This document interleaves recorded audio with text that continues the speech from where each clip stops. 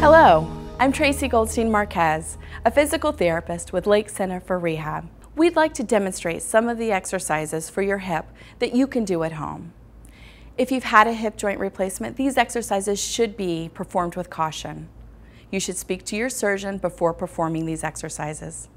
I'd like to introduce my colleague, Rob Harrison, also a physical therapist, and who will be demonstrating these exercises along with a resident of the Villages who has agreed to help us with this demonstration. Hi, I'm Rob Harrison, and I'd like to show you some hip exercises today. I'm here with Rosie, and she will demonstrate the exercises as I discuss the steps. If you feel pain during these exercises, please discontinue. You should speak with your healthcare provider for further testing or a possible physical therapy evaluation. You may be feeling fatigue after completion of the exercises, and that's okay. The next few exercises may help to increase your range of motion, your flexibility, or strengthen the hip. And our first exercise today will be the piriformis stretch. Rosie, please lie down. Rosie's going to start by keeping her legs flat on the surface. Now at home, you're not going to have a table, so you may want to do this either on your bed or on the floor. If you choose to do it on the floor, you'll want to use a yoga mat or some other form of padding to make it more comfortable.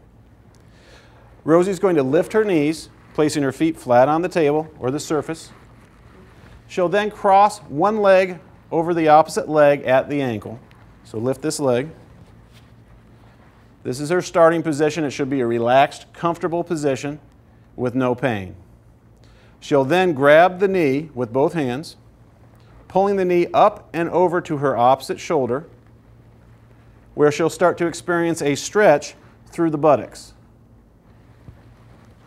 She'll hold that stretch for 60 seconds, and then she'll repeat on the other side. So once again, she'll lift, crossing the ankle, grabbing the knee with both hands, gentle pull up and over to the opposite shoulder, and holding for 60 seconds.